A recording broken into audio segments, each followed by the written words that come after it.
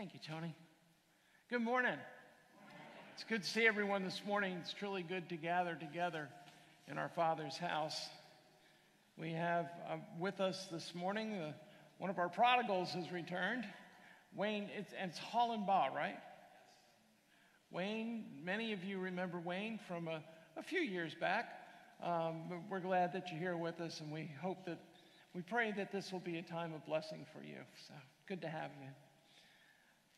All right, let's get started, if you would please, with our life verse for August. This comes from the Gospel according to Matthew. Uh, they are the words of our Lord as they're found in chapter 6 and verse 6. Let's go ahead and read this passage together.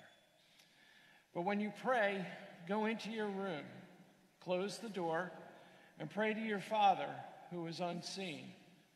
Then your Father, who sees what is done in secret, will reward you.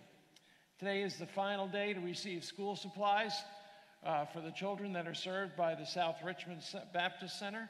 I want to thank you all for your generosity. Paula, you guys have a lot of work ahead of you today. There's a table full of supplies back there. Uh, and I know that the children will be blessed because of your generosity. Also, starting today, you will find once again our giving tree has new leaves, which contain items that are non perishable food items uh, that we're once again collecting for area food banks, including uh, the place of, Min- place of Miracles that we have been helping uh, over these past several weeks now. We can always use some extra hands on Friday afternoons at Place of Miracles. It's located off of, uh, what's it now called? Richmond Highway. It's Jeff Davis. Y'all know what I'm talking about. Uh, down near where Mr. Peanut, for those of you that remember Mr. Peanut, it's right close to Mr. Peanut. Yes, yes. Ken, Kenny's doing his Mr. Peanut impression for me. It got me off guard there for a minute. Uh, but yeah, down on Route 1, uh, we meet there on Friday afternoons around 2. It's about an hour and a half, two hours worth of work. It's work, but it's well worth it, and it goes to help a lot of families in, who are in need. Check with Jimmy, uh, and he can give you more information if you'd like to help out with that. Uh, also, a reminder today our WMU will meet in this first Sunday school room immediately following worship. And of course, all ladies in the church are welcome to come and be a part of that. And speaking of the ladies, Tuesday morning at 11:30, we will have women's Bible study uh, here in the sanctuary. Katie, did I say 11:30? 12:30. Normally it's 12. Well, I was kind of just covering all bases. anyway, show up around lunchtime on Tuesday, and Katie will no, Bible study 12:30. Right on Tuesday. Okay, thank you. That's not a permanent change, is it? Okay, because I'm going to change it every month anyway, so don't worry about it. All right, I don't, I don't think I have any other announcements right now. Looking to see, trying to refresh my memory, I guess not. Let's go ahead and start our time of worship with a word of prayer. We praise your holy name, Father God, as you daily pour out your blessings upon us. Your glory is great, and your love is steadfast and eternal. Father, we come into your presence and bow in awe before your majesty this and every day. We ask you, Lord, to do your will in our lives. All these things we pray in Jesus' name and for his sake. Amen. Good morning, y'all. If you could stand as you're able to sing day by day, you'll see the lyrics here on the overhead.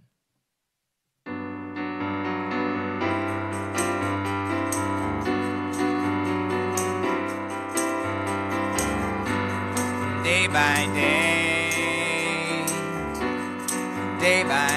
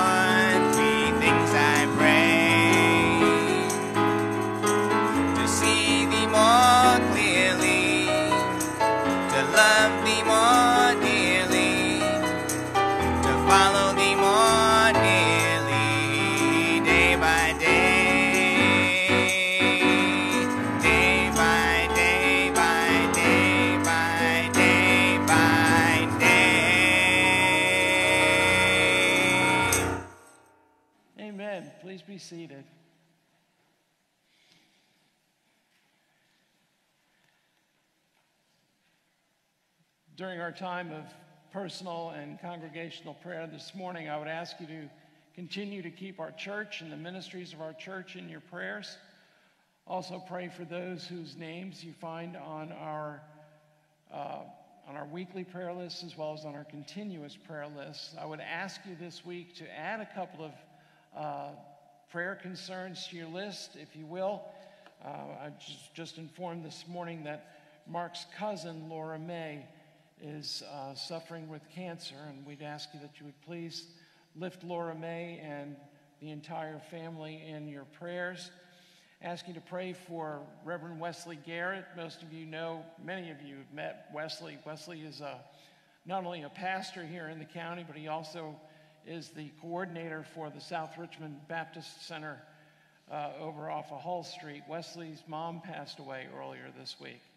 Uh, she'd been sick for quite some time, but it was still very much of a shock. So please pray for Wesley and for his family. Um, her service will be held tomorrow in Hampton.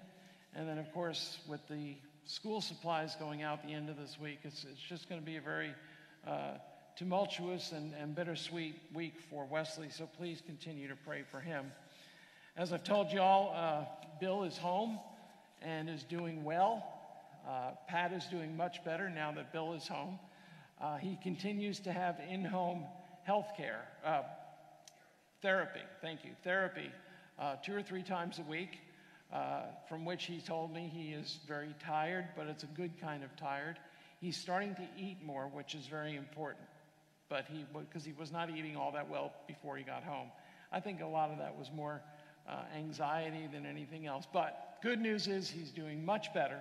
And we just thank God for the healing that He's already begun uh, with Bill, and we know that He will continue to do. Um, Patty arrived safely, for those of you uh, that were, were wondering. She arrived safely. Her planes were more or less on time, so that, that's a blessing in itself. So, lots of folks, lots of folks that we need to be praying for this morning. And I would just ask you to not only pray for them, but pray for those people in your life, those people that you know that have special concerns or have joys to celebrate. Uh, pray for each one of them. Pray for their conditions, their situations, and always remember, please, to pray for yourselves as well. Let's go to the Lord together.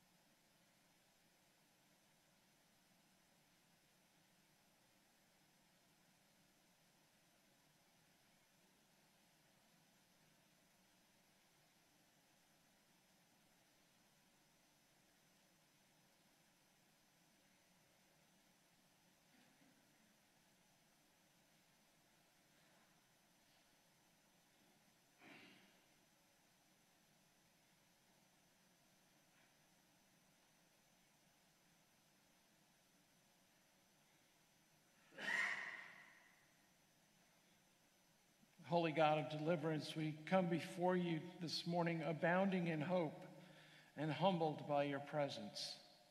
How great are your mercies, and how vast is your kingdom. Your love extends beyond the heavenly realm and is eternal through the ages. You alone are God. We pray that in your sovereignty, you will hasten the day that all people will come to know you and that your kingdom will dwell on earth as it does in heaven. In your wisdom, Father, you have made us stewards of your creation. Lord, we ask you to help us to learn for ourselves and then to teach others to live in peace and harmony with you, with one another, and with this earth that you have given us. You are matchless in your giving, gracious Lord.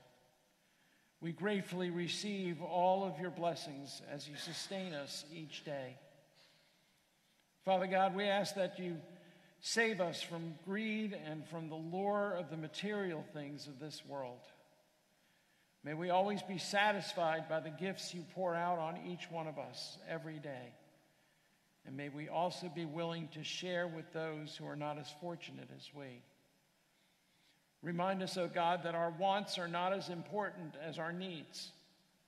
And help us to know that as long as we have your love, your mercy, and your grace, we have all that we could possibly desire. And although it can be painful, O oh God, we acknowledge our own sinfulness and we are mindful of our need for your forgiveness. Too often we are quick to point out another's sins and refuse to see our own trespasses. Forgive us when we are quick to judge others, and give to us instead each a spirit of reconciliation, especially to those who seek to cause harm to us or to others. You are our great physician and healer. So this morning we lift to you, Father, all those who are in need of physical, emotional, spiritual healing this day. Remembering especially those who are on our prayer lists and those whom we hold dear to our hearts. Only you can repair our brokenness, restore our wholeness, and set our feet back on the path of righteousness. For all those who are facing special challenges this day, Lord, we pray an extra portion of your patience, your strength, and your mercy. Reconcile us to you, Father, and to one another, so that our world can know what your peace is all about. And now, as we do each week, we pray, Come, Holy Spirit. Come and empower us to resist the evils and the temptations of this world. Perfect us in our faith and in our walk with you, so that in all that we do, you will be glorified and we will become more like Jesus each day of our lives. All these things we pray in His name as we join our voices together, praying as He taught us, saying, Our Father, who art in heaven, hallowed be thy name. Thy kingdom come, and thy will be done on earth as it is in heaven. Give us this day our daily bread, and forgive us our trespasses as we forgive those who trespass against us. And lead us not into temptation, but deliver us from evil. For thine is the kingdom, and the power, and the glory forever. Amen.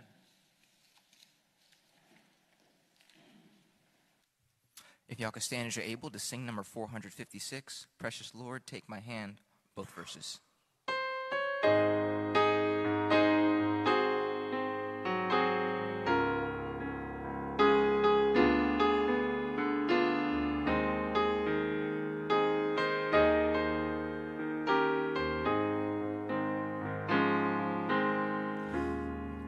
Precious Lord,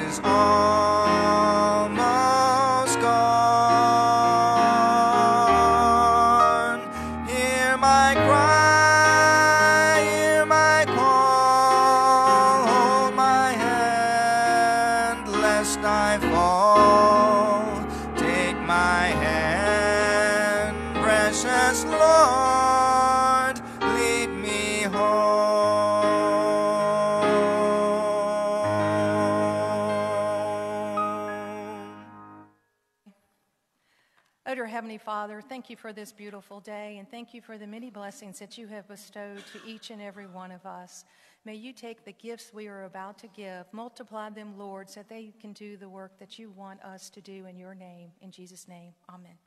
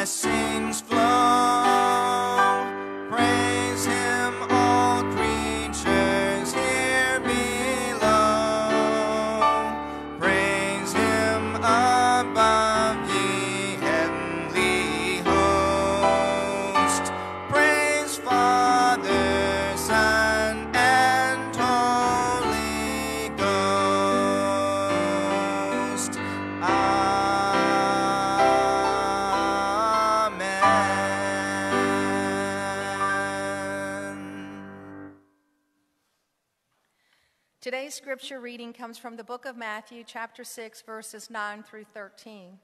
This then is how you should pray Our Father in heaven, hallowed be your name. Your kingdom come, your will be done, on earth as it is in heaven. Give us today our daily bread, and forgive us our debts, as we also have forgiven our debtors. And lead us not into temptation, but deliver us from the evil one. May God bless the reading of his word. Let us pray. O most gracious and loving Father, we come to you today knowing that you will heal all of our hurts and wants and you will grant us blessings. Be with those, Lord, who are hurting today and grant all of us the wisdom and the knowledge that you endeavor for each one of us to carry forth, that we may share your word with everyone that is hurting, everyone that does not know you, Lord. And bless him today, Pastor Bill, as he brings us the message, open our hearts and our ears so that we will understand and take forth the charges that you have bestowed on each one of us. In Jesus' name we pray. Amen.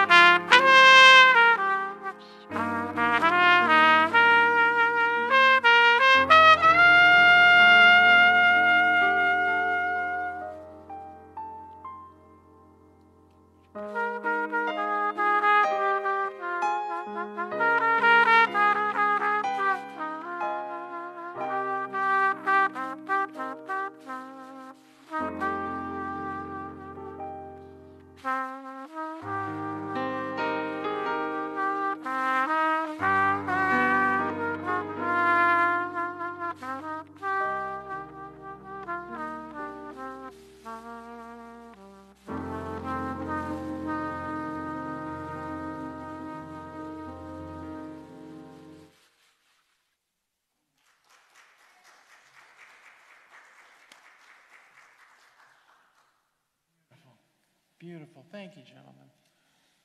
Wow.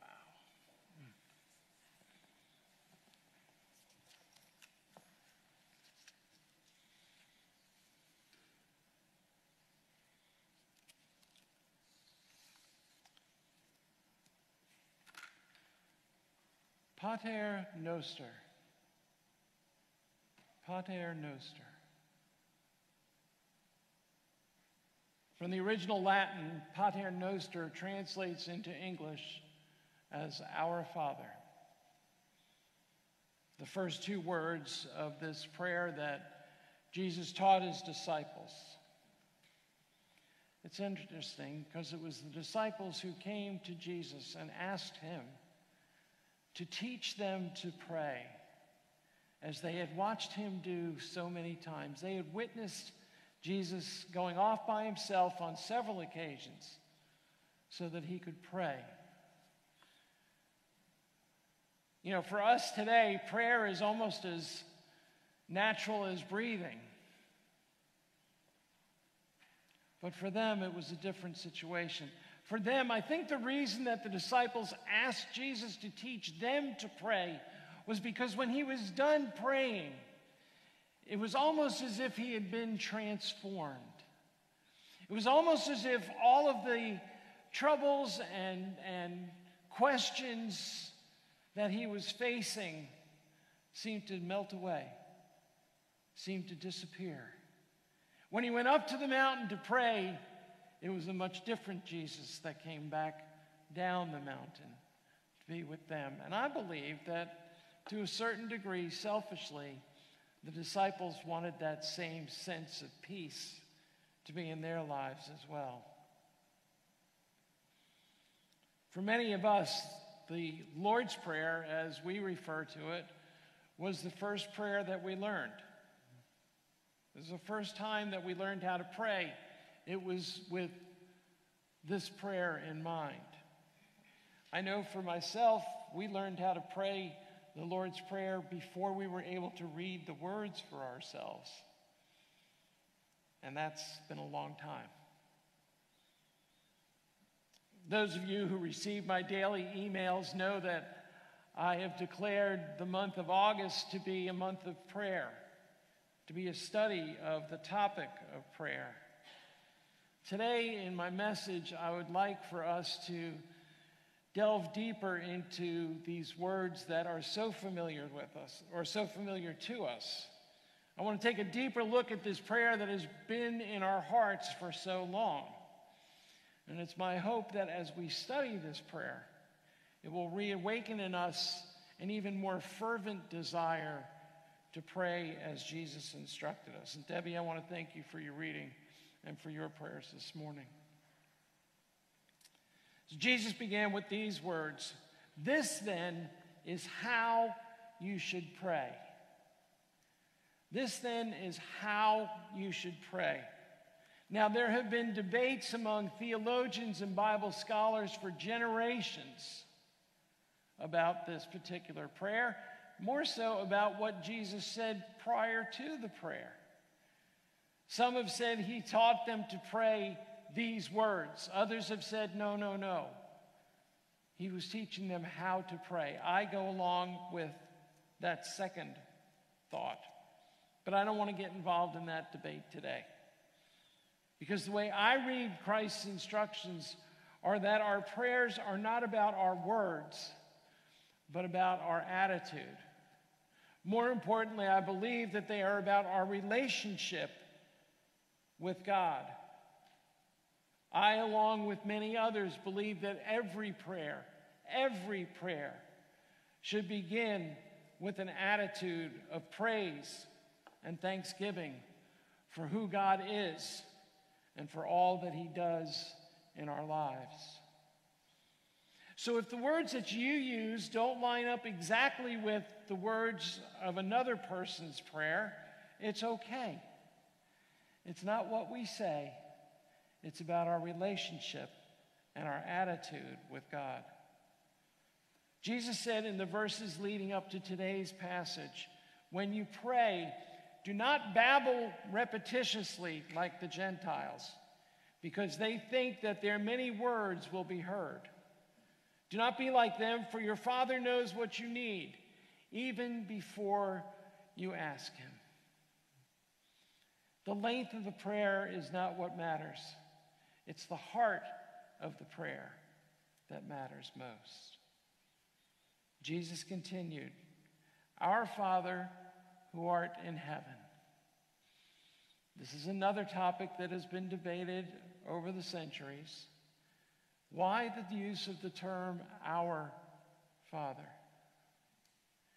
I believe that Jesus uses the word our to indicate to his disciples and to us the intimate nature of God with all and each of his children. Keep in mind that at the time that Jesus spoke these words to his disciples, there were so many different gods, small g, so many different gods that were worshiped. And what made Jesus God, what makes our God different from all of these others, among other things, is the fact that our God is always within our reach. Where these other gods, these small gods, as I say, were considered by the masses to be so high and so out of reach that they could not have a relationship with them. Jesus wanted his disciples and the rest of the world to know that our Father, to know that his Father is our Father here, now, in this life, and in the life to come.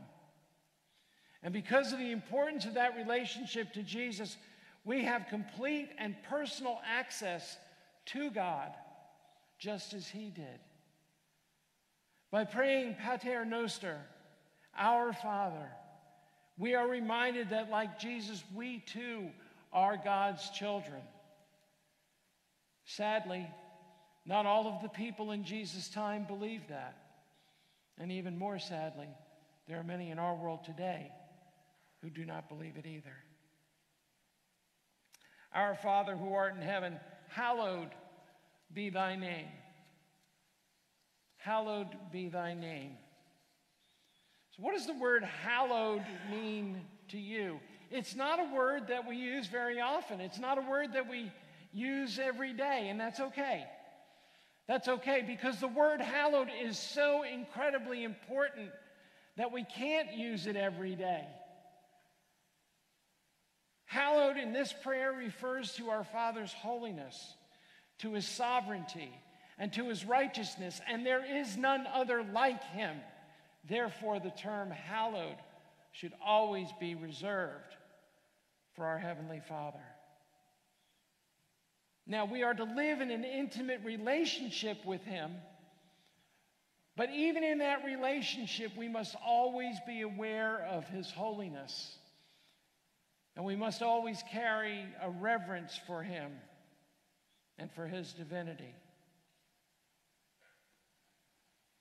I told you several times about a young lady that I knew many years ago who began every prayer by saying, Good morning, Daddy, or Hi, Daddy, or whatever. And at first I thought that was so disrespectful until I realized it wasn't a question of respect, it was a question of intimacy. That she really, in her heart, feels that intimacy with her Heavenly Father. And it was such a blessing for her to be able to pray that way. Paul wrote in Philippians chapter 2 let this mind be in you, which was also in Christ Jesus. In other words, have the mind of Christ in you. Christ, who existing in the form of God, did not consider equality with God something to be grasped, but emptied himself, taking on the form of a servant. You know, at any point in his ministry, at any point in his earthly life, Jesus could have snapped his fingers and changed everything.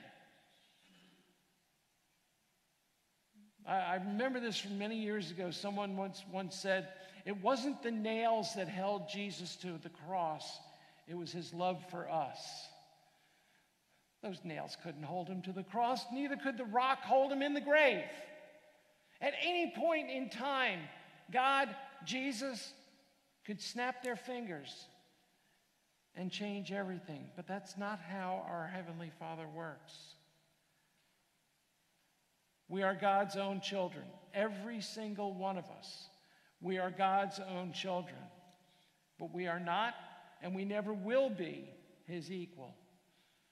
God is God alone, and He's always to be hallowed. Jesus continued with these words Thy kingdom come, thy will be done on earth as it is in heaven. So let me ask you this question What do you understand? How do you understand God's kingdom to be?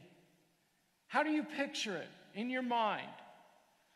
Yes, throughout the, throughout the Gospels, many, many times, Jesus tells the crowds, the kingdom of heaven is like. And then he goes on and gives them an easy to understand description. How do you understand the kingdom of heaven? Consider this verse from Acts chapter 1. It's in verse 6. Following his resurrection, the disciples required of Jesus if he was going to restore the kingdom to, to Israel. Lord, when will you restore? Does this mean now that you've been resurrected? Does this mean that the kingdom will once again be restored to Israel? They were asking if the rules and the boundaries that they knew and that they loved from when King David was in charge, when King Solomon was in charge. He was at, they were asking if, if these would come about again and they would have this, this wonderful, holy place in which to live. The problem was when Jesus was speaking of God's kingdom, he's not speaking of a physical place. He's not talking about a geographic location, but what in this prayer Jesus is telling us to do is to pray for God's reign. To pray for God's reign, to pray for a time when God will be, when God's rules will be the law of the land, not just the law of the followers. He's praying for, telling us to pray for a time when goodness will reign, when righteousness will reign, and we will not be influenced by Satan and his evil. Eventually, the Bible tells us, eventually, when Jesus comes again and the new millennium begins, there will be a new geographic location to God's kingdom. It will be here on earth. But until that day, Jesus instruct us, instructs us that we are to pray that God will rule in our lives.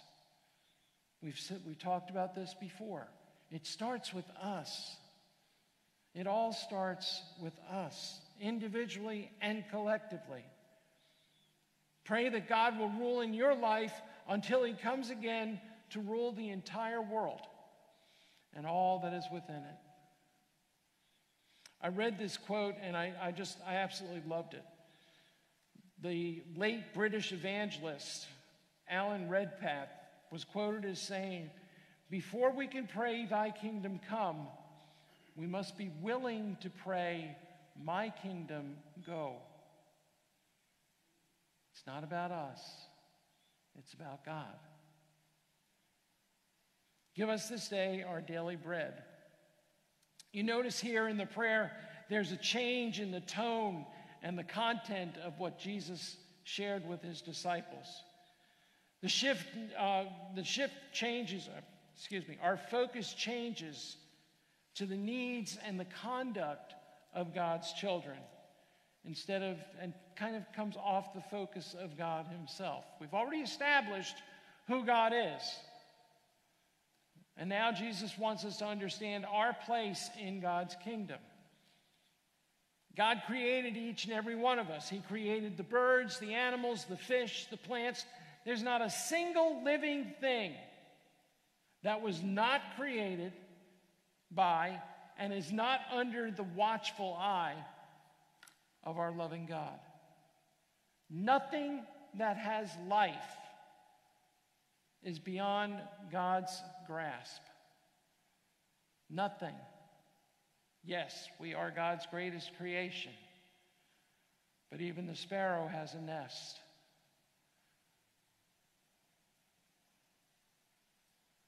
But as we have witnessed, as time has passed and mankind has become more me focused, more self dependent, and less God dependent, we tend to think that we are in control and that God needs to be about our will.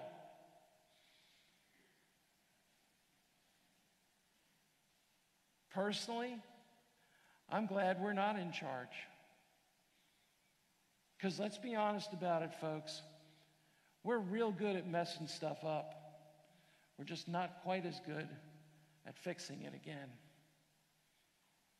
Because He is our Creator, because He is our sustainer, our Heavenly Father knows every single one of your needs. Every single one of your needs is known by and is met by your heavenly Father. He has he does now and he always will continue to provide for us. And we've talked before about the difference between wants and needs, haven't we? We need what? We need food, shelter, oxygen.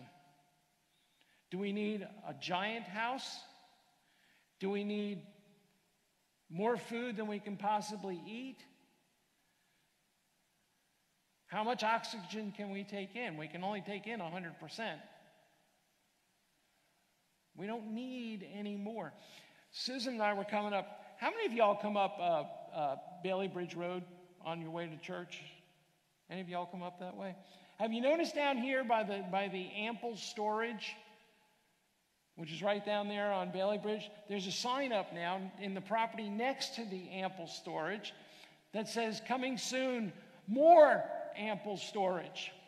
They're, they're adding on to the storage uh, places that are available already. And there's more and more and more and more of those coming up. And outside of, of what used to be the little village of Midlothian, on Midlothian Turnpike, within a mile of each other, there are over 800 storage units available in two separate locations within a mile of each other. I know, I know, I shouldn't get off on a tangent, but I'm going to because this just drives me crazy. How much do we need? I, I understand if you're moving and, and your house hasn't been finished yet and you need to store some stuff for a little while. I understand all that. I, I understand if you're downsizing and you need to store some maybe family things that the children or the grandchildren are eventually going to. But how many storage places do we need? How much stuff is enough? We downsized when we moved back here 12 years ago. And when we moved back here 12 years ago, we had a lot of room in our house because we downsized. And now, 12 years later, oops,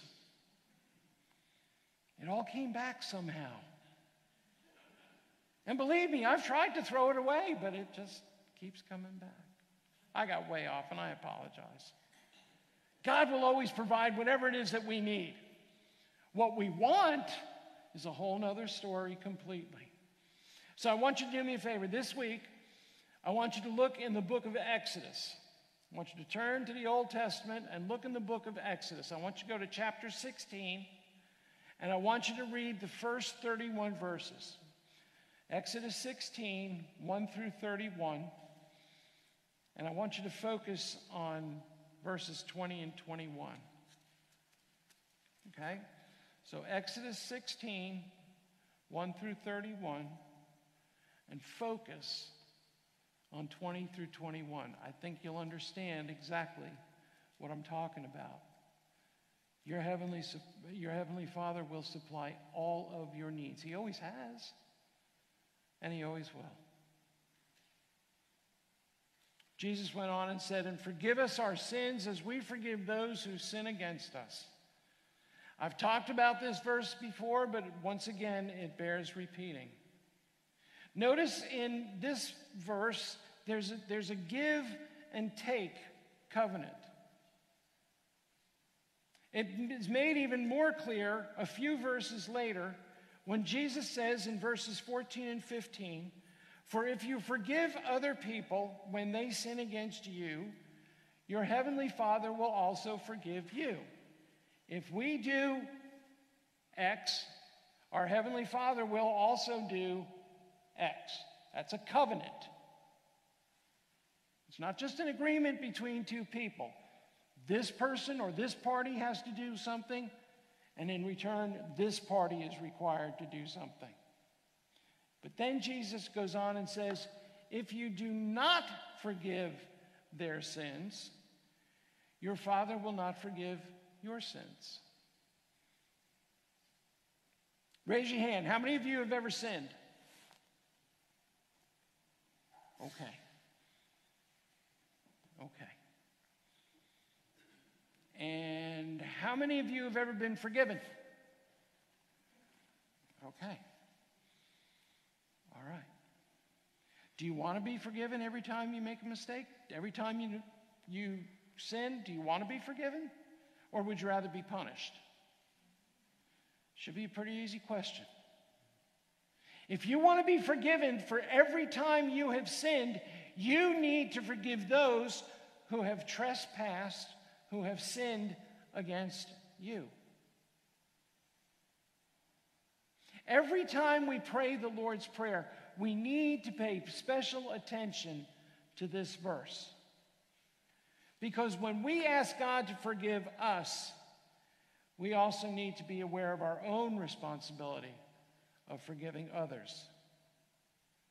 In the Gospel according to Mark chapter 11, verse 25, Jesus said to the people, and when you stand praying, if you hold anything against anyone, forgive them, so that your Father in heaven may forgive your sins as well.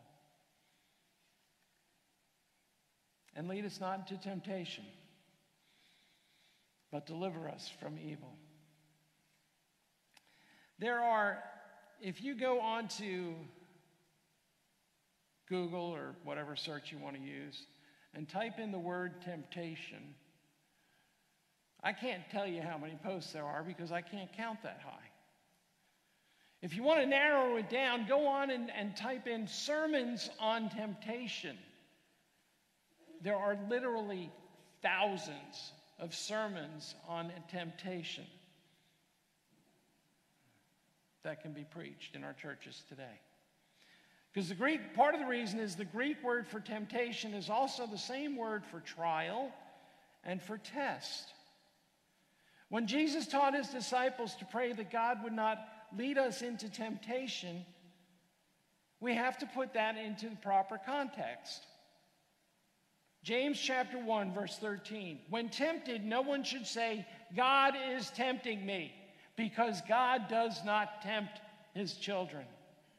God cannot be tempted by evil, nor does he tempt anyone. But each person is tempted, listen now, each person is tempted when they are dragged away by their own evil desire and enticed. In other words, temptation does not come from outside, it comes either from ourselves or from the presence of evil. However, 1 Corinthians chapter 10 does provide us with a certain assurance regarding temptation. Paul wrote, No temptation has overtaken you except what is common to mankind. Those things which are common to all mankind, those may have overtaken you. But God is faithful. He will not let you be tempted beyond what you can bear. But when you are tempted, God will also provide a way out so that you can endure it. Ever been tempted? I know one member in our congregation that is tempted every time they walk down the chocolate aisle in the, in the grocery store. I know, of it, I know of at least one. Well, no, wait. I know of at least two. okay? But God never allows us to be tempted beyond what we can resist. As I have shared with this other member, and I share with myself on a regular basis, how best to resist that temptation? Don't walk down the aisle. Yeah, it's, it's not rocket science, it's not brain surgery. It's common sense, and God gave each, each one of us that. Lead us not into temptation. Don't allow yourself to be led into temptation. But know that if you are, you have the power because God has given you the power and the authority to endure the temptation. Well, that's where the prayer ends, according to the writer of the Gospel of Matthew and also according to the writer of the Gospel of Luke. That's where the prayer ends. But as we have said every, mor- every Sunday morning, and as more than likely you have said most of your life, if not all of your life, there's, there's more. There's more. We speak the words, For thine is the kingdom and the power and the glory forever. See, we added those to the writing of the Gospels. Mankind added those later. And although they can, no one can prove where or when, it does make logical sense that at some point in time, as these translations were being uh, transcribed by different writers, by different scribes, there was at least one who believed, as I do, as I said earlier, that prayers should begin by glorifying God and they should end by glorifying God as well. More than likely, it's believed by many that the writer developed this uh, ending that we commonly use now for the Lord's Prayer based on the words of First Chronicles I want to read this to you. It's from chapter 11 and verse 20, 29, when King David wrote these words Yours, O Lord, is the greatness and the power and the glory and the victory and the majesty. For all that is in heaven, in the heavens and in the earth is yours. Yours is the kingdom, O Lord, and you are exalted as the head above all to which each one of God's children must respond Amen. Amen.